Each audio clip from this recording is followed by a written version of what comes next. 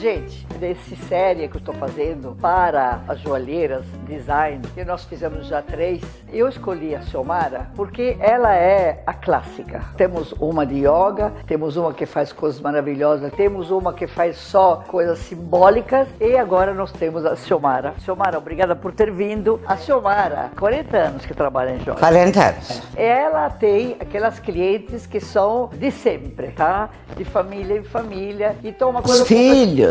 Filhos e completamente diferente das outras joalheiras. Então eu quis escolher ela porque é, eu me lembro que eu comprei um anel de cobra e você que eu uso até hoje. é. Ah, que bom. É, eu uso até hoje e falo de 40 anos atrás, né? Quando você tinha loja também, Eu ti- fui tua vizinha na Gabriel também um tempo. na Gabriel. É, depois agora não, você, você, você tem só em casa. Só né? em casa. Como você começou com as joias? Bom, foi uma coisa de acaso, não tem nada no meu histórico antes, na infância, paixão por joia, interesse, nada. Eu sempre fui visual, sempre gostei de moda, decoração, arquitetura, mas estava procurando uma coisa para fazer, uma coisa que me apaixonasse, porque minhas filhas já estavam ficando maiores. Uma prima minha, que já estava trabalhando com joia, me convidou para ser sócia. Eu fiquei assim, Será que eu vou gostar disso? E aí as minhas filhas foram ficar um mês fora com o tio. E eu percebi aquele buraco, eu falei, eu vou entrar nessa. Mas sem a menor ideia que eu fosse aprender, gostar.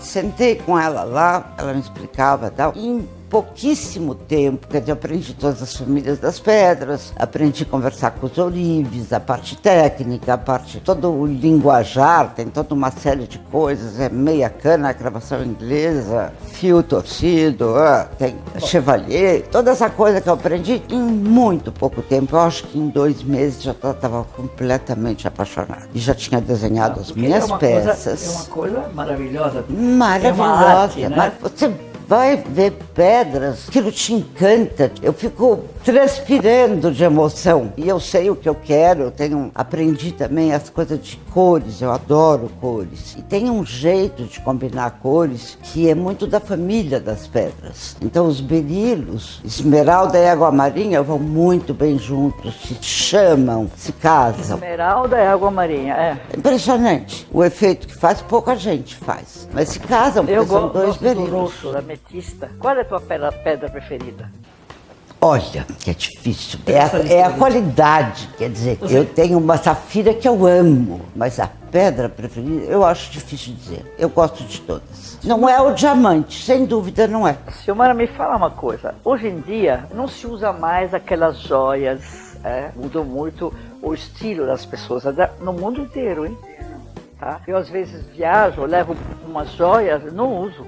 Antes a gente até gostava de levar, porque podia usar, por É, eu fui agora, Agora na África num casamento, eu levei uma joia. Nada, era Ninguém- corda. Entendeu? Então, é, não, não, Mas não isso pra- até, até bate muito com o que eu gosto da joia, é como ornamento. Então, ó, um brinco pode ser tão bonito quanto uma pena, uma flor. Eu acho que a ideia da joia não é poder, não, não deveria ser uma demonstração Aquelas de joias todas assim que às vezes você vê nos Não, essas parrilhas. Não dá mais. Só a Rainha Elizabeth. Dá, tiara, não colar. dá mais, precisa das joias Não um dá pouco- mais. da- das joias um pouco, vamos dizer, eh, das joias eh, mais eh, modernas. né? Mais moderno. Mais modernas. Com pedras bonitas, mas mais modernas. Exatamente. E são menores, normalmente, com três pequenininhos. Esse aqui é lindo, né? Esse é o interessantíssimo, né? Esse é bem novo. Essa Você- é uma ah, pedra incomum. com- é um- brilhante, com seus são brilhantes. diamantes. Ah, é, diamantes aqui. Opacos, todos diamantes. É. Nos tons dourados, tem vários tons, tem rosado, tem cinza. Eu trouxe de fora, porque aqui no Brasil não tem. A De Beers, que não comercializava essa pedra, fez a lapidação e o efeito ficou muito bonito. Muito E- bonito. E, não entra nessa categoria luxuosa. Aquela coisa caríssima. E não é caríssimo também, é como o diamante preto, custa pouco. Me fala uma coisa, você tem orifes que fazem para você? eu tenho, eu tenho, eu trabalho com duas oficinas há muitos anos, gente muito boa, gente que me entende. E você faz o design? Desenho, coloco as pedras. Hoje é uma maravilha, porque depois que eu monto, tipo um mosaico, eu fotografo, boto tudo no saquinho e mando. Quando não tinha isso, eu montava o mosaico com a mão. Tudo, assim, E aí... O layout nosso também, que a gente É, fazia era na difícil. agência, era tudo com a Você mão. viu tudo com a mão. E se a pessoa não está lá vendo e não anota, crava errado. Junta todos os brancos aqui, os pretos ali. Agora não, você põe exatamente as cores que você, você quer. já vê o resultado. Vê, já vê. É maravilha Tá lá, é hoje uma em dia, maravilha. né? Bom, é, eu vejo que agora, por exemplo, a, plástica, você faz,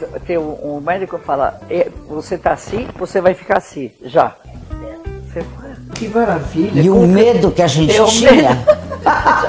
Você Não. tem neta menina? Eu tenho uma. Uma? Tenho, mas é bom que tem uma, né? Porque eu me divirto com ela, dou risada com ela. Eu não tenho neta menina. Mas Eu tenho três meninos e me divertem muito. Adoro, adoro. Mas a menina é ainda é, É. joia, joinha. Eu quero. Por exemplo, eu tenho uma. Ela, ela escolhe a roupa, ela É. põe saia de tudo. 15 e anos, elas fazem três, quatro roupas. É bom, não, isso na família não tem. Não, é que ela gosta de se produzir, mas ela faz com o que tem. Ela faz uma Quantos bagunça. anos ela tem? Tem sete. Sete, é pequena ainda. É, porque ainda é pequena. Mas assim, eu vou na Zara com ela pra comprar um legging, uma coisinha, ela acha uma saia de tule com lantejola e ela quer de qualquer jeito. Aí usa a saia de tule com lantejola e ela amarra um Ela se lembra das princesas, né? É, ainda tá tempo das princesas. Me fala uma coisa, os lançamentos você fala, a sua filha trabalha com você? Não, você. Trabalhou alguns anos antes de casar, até depois um tempo. Adorava trabalhar com a Joana. Ela fazia uma coisa mais jovem, prata, só prata. Nós trocávamos ideias e fazíamos coisas assim. Ela dava palpite nas minhas e eu dava palpite nas delas. Temos peças assim a quatro mãos que a gente reconhece na hora. Inclusive o brinco de casamento dela. Foi muito gostoso, mas com o casamento, com o nascimento Os dos dois filhos. com crise, com ela cansou. Cansou, vai dar um tempo, ela canta, canta na noite, dá show no La Mata Café, não sei o que. Ela Ah, é? canta muito bem, Ela canta canta bem. bem? Muito que bem. tipo de música? O mais americana, que é toda a formação dela. Brasileiro, ela tem alguns que ela gosta muito, adora. Não tem coragem de cantar Elis, por exemplo, porque nunca vai ser aquela maravilha. E o Zuz, homem de Mero, elogia muito a voz dela. Ele, ele Ah, é? sempre quer, ele sempre me fala, fala pra ela, faz um bom CD profissional que eu monto pra você. Você não vai sair pela estrada, mas eu monto pra você, eu, eu arrumo pra você pequenos shows em, em bareto, não sei aonde, de, de firmas e tal. Você ganha um dinheiro, faz o que você quer, o que você ama e faz bem. Quer dizer, o cara como Zusa sabe o que está fazendo, né? Seu Mara, é o seguinte, e as pérolas? Voltaram? Voltaram, eu sempre amei. Não aquele colezinho de pérolas assim. Não, três voltinhas, não.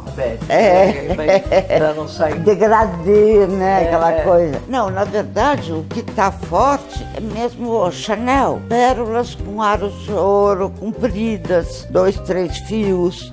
Eu tenho aqui um fio de pérolas barrocas que eu acho divertidas porque são grandes e não são caras. Eu tenho muito essa preocupação de ter Também, porque hoje em dia, com essa crise que tem mundial, É. falar mundial, tem um amigo- enfeita e não Ah, é essas- uma e não é um Mas são o que essas pérolas? barrocas. Ah, são a pérola barroca é a pérola que deu errado, digamos assim. Ah. A pérola que ficou torta na concha. São interessantíssimas, porque nunca tem uma igual a outra. Ah, Tem um então, tom dá de prateado. cinza, né? Ah, vale, porque é esportivo também. E é, jeans é, você eu pode uso com, usar. com camisa jeans, por exemplo. Uso muito assim. A crise atingiu você, todo mundo? Atingiu.